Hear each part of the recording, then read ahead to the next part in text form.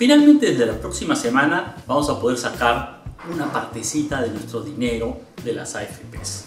Como saben, hasta el 25% del fondo, hasta un tope de 12.900 soles. Y por si acaso, los que ya sacaron los 2.000 primeros soles, eso se descuenta, no es adicional.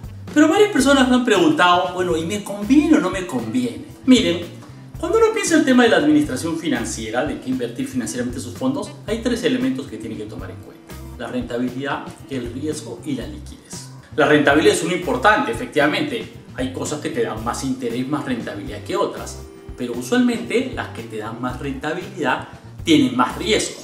Por lo menos así sucede en el largo plazo. Entonces ahora es posible que si su fondo de pensiones tiene buena plata en acciones, eso pueda subir de precio y tener una buena rentabilidad en el futuro. Es posible, pero es posible que no porque una de las características de estas inversiones es que tienen alto riesgo. Y nadie puede asegurar ahorita si el precio de las acciones va a subir o va a bajar más. Eso se los aseguro, nadie puede asegurarles eso. Ahora hay un tercer elemento que me parece importante ahora, que es liquidez. ¿Qué quiere decir liquidez en términos financieros? Que ustedes pueden tener su plata si la necesitan. Es la capacidad de disponer del dinero.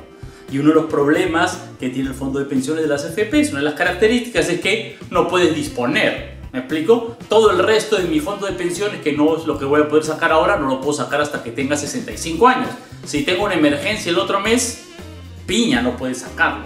Y entonces la liquidez en este momento puede ser muy importante. ¿Por qué? Porque estamos en una situación de mucha incertidumbre. Sabemos o no sabemos si a lo mejor podremos necesitar ese dinero dentro de tres meses, dentro de seis meses, y si a lo mejor en esas condiciones podrá haber una nueva ley que nos lo dé o no. La verdad es que todo eso es desconocido.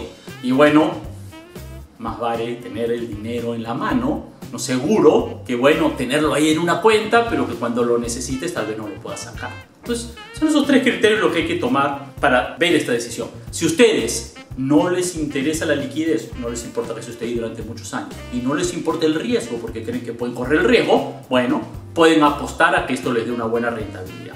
Ahora, si en estas circunstancias, en este momento, ustedes creen que mejor es tener la plata disponible por si la necesitan y que no quieren correrse el riesgo, entonces mejor retiren su dinero y ténganlo en una cuenta bancaria o en alguna inversión que ustedes quieren o debajo del colchón si lo desean, como sea su mejor opción.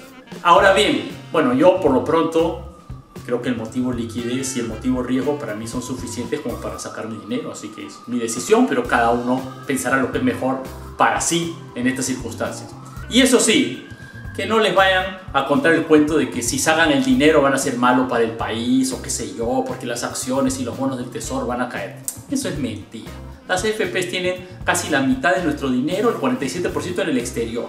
Pueden traer la plata del exterior para acá, no van a caer las acciones o no van a perjudicar a los bonos del tesoro y van a tener más dinero para apoyar el sistema financiero y la economía peruana. Así que por esa parte no se preocupen. Si están pensando en el país, si su preocupación es el colectivo, es mejor que retiren su dinero a las AFPs a que las AFPs mantengan ese dinero fuera del Perú en estos momentos. Soy Pedro Franque explicando en tres minutos la conveniencia o no de retirar el dinero de las AFPs.